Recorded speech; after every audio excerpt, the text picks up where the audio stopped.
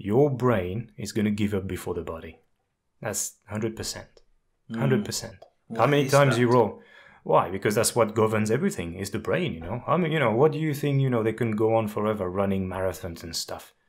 My brain is so weak, I couldn't even run a marathon, you know?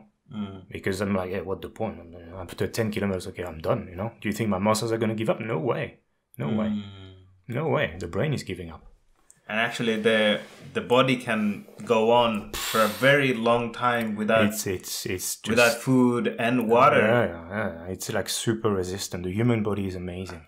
Yeah. amazing. It just reacts to everything. They have this thing called neuroplasticity, which is just adapting to whatever you have around you. Yeah. What do you think? We're so many different shapes and sizes and living all over the world. Yeah, like uh, forty degrees plus, minus degrees plus, because that's the human body. That's what it does, and it adapts to everything.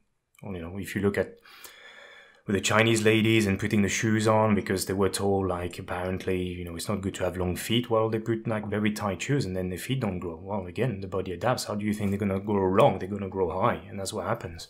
So again, the body is the human body is just as strong as hell, the strongest thing ever.